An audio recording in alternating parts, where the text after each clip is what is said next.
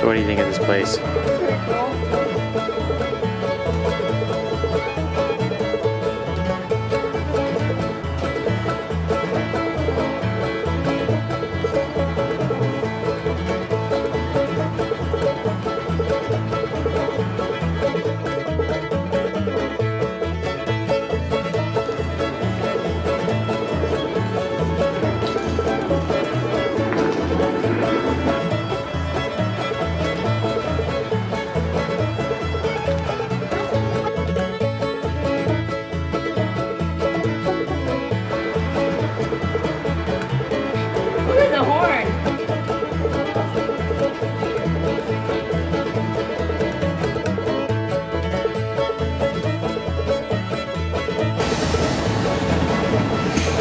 did not wait for anything.